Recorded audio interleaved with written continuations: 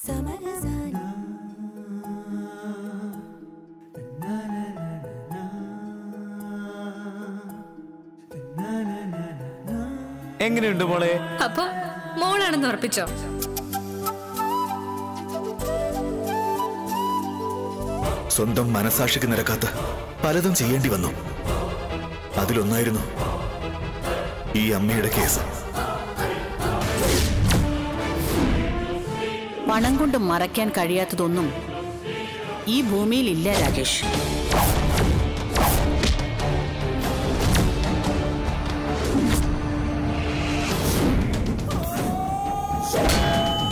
അയാൾ കൊല്ലപ്പെട്ടു.